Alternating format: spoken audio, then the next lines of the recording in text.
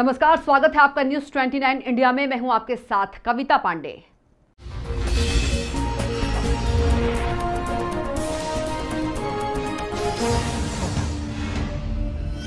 Barabanki police ने highway पर ट्रकों के टायर और बैटरी लूटने वाले अंतर्राज्यीय गैंग का भंडाफोड़ किया है। पुलिस ने गैंग के सरगना समेत दो सदस्यों को गिरफ़्तार किया है। इन बदमाशों ने जनपद अयोध्या में दो घटनाओं को अंजाम दिया था, जिसके बाद से पुलिस इनकी तलाश कर रही थी।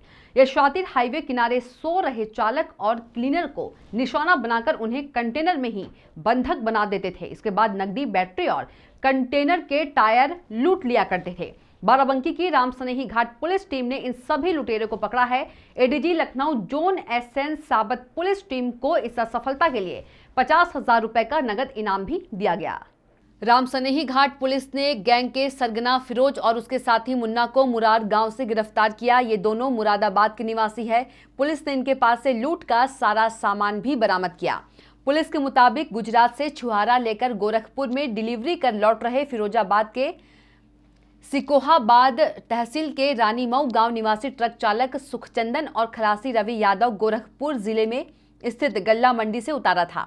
इसके बाद गुजरात के लिए जा रहे थे, तभी नींद आने पर दोनों लखनऊ, अयोध्या राजमार्ग पर स्थित एक पेट्रोल पंप के पास कंटेनर को किनारे खड़ा कर सो गए।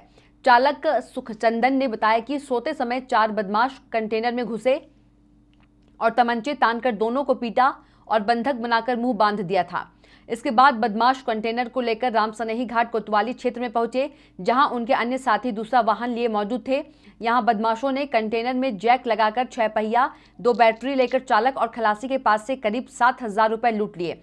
जिसके बाद किसी तरह इन लोगों ने रस्सी खोलकर इसकी सूचना पुलिस को दी, जिसके बाद से पुलिस इनकी तलाश कर रही थी। पुलिस ने अभी तक इन लोगों के द्वारा लगभग 46 घटनाओं के होने की तस्दीक दी है। इसी आधार पर बाराबंकी के एसपी डॉक्टर अरविंद चतुर्वेदी बाकी जिलों के एसपी से भी संपर्क करके इनके बाकी केस खंगालने में जुटे हुए हैं।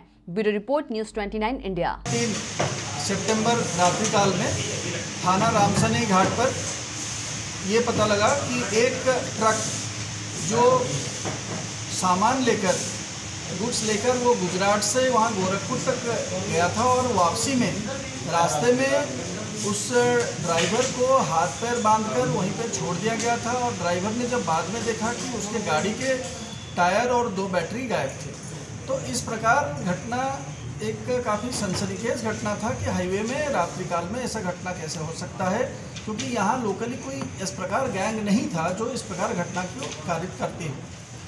तो उसके साथ साथ हमें ये भी पता लगा कि जनपद अयोध्या में भी इस प्रकार एक घटना हो रखा है और दोनों को एक कड़ी में जोड़कर हम लोगों ने इन्वेस्टिगेशन करने के लिए प्रयास किया। एसपी बाराबंकी एवं उनकी टीम ने इसको 36 घंटा के अंदर ये घटना को क्रैक किया। उसके बाद इसमें जो लीड मिली, जो अच्छा इन्वेस्टिगेशन हुआ, वो वास्तविक काबिल तारीफ़ है कि उनको ये पता लग गया कि किस गैंग का इसमें हाथ में और फाइनली मैं आपको ये बताना चाहता हूँ कि काफ़ी दूर से, मुरादाबाद से ये गैंग यहाँ पर आया था और गैंग के दो मेंबर जो आप अभी रूबरू हुए हैं, फिरोज पुत्र दिलशाद, मुन्ना उर्फ़ मुशरफ ये दोनों अरेस्ट हुए और ये इनके पास से, इनके पास भी एक बड़ा ट्रॉलर होता है जो जिस ट्रॉलर में ये स्वयं बाकी टायर को अपना रख लेते हैं बैटरीज को रख लेते हैं, ऐसे कई घटना एक रात को भी करने का क्षमता रखते हैं, करके फिर अपना ट्रेलर लेके चले जाते हैं। क्योंकि बड़ा ट्रेलर होता है, बंद ट्रेलर होता है, सामान्य तो इस प्रकार किसी को कोई डाउट रास्ते में नहीं हो पाता है। और ये घटना काफ़ी दूर दूर करते हैं, ताकि किसी का कोई संभावना ही बना बना रहे कि किस प्रकार ये घटना को पता लगाए। लेकिन मैं बधाई देना चाहूँगा पुलिस अधीक्षक बाराबंकी उनके पूरी टीम को, कि जिन्होंने इसको सक्सेसफुली इस घटना का अनावरण किया। ये राष्ट्रीय स्तर का एक घटना, इसीलिए मैं कहूँगा कि अभी तक इन्होंने जितना कनेक्टेड केसेस है, कम से कम 10 केस पुलिस के संज्ञान में है कि जो इन्होंने घटना कारित किया है। लेकिन उसके साथ साथ जो उन्होंने खुद कबूला है, लगभग 40 से भी अधिक घटना भारतवर्ष के विभिन्न स्थान पर करने को जिसको प्रयास किया जा रहा है, उस सभी को कनेक्ट करने के लिए क्या एफआईआर लिखा गया था नहीं लिखा गया था कहाँ पे ये घटना हुआ वो सभी प्रयास चल रहा है वो इन्वेस्टिगेशन का पार्ट होगा।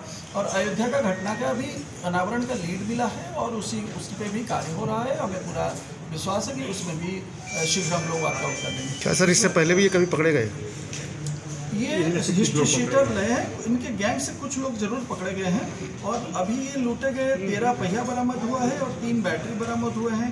एक तमंचा 315 बोर और कुछ कारतूस बरामद हुए हैं साथ में और एक बड़ा कंटेनर बरामद हुआ है जो सामने खड़े आप देखेंगे और कुछ इनसे धनराशि सिर्फ़ पाँच हज़ार रुपया बरामद हुआ है और मोबाइल सेट वगैरह बरामद हुआ है।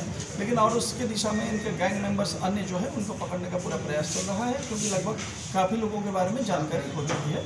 ये अच्छा कार्य है तो ये पुलिस टीम को जो है हमारे द्वारा पुरस्कृत किया जा रहा है और इनको अच्छा इन्वेस्टिगेशन के लिए हम लोग रिकमेंड करेंगे कि इनको इन्वेस्टिगेशन का अवार्ड अथवा डिस्क कार्य मिले और उसके साथ साथ मैं पुलिस अधीक्षक को प्रशंसा पत्र उनको भी जारी करूँ। तो आप देखते रहिए न्यूज़ 29 इंडिया एक देश सारे प्रदेश।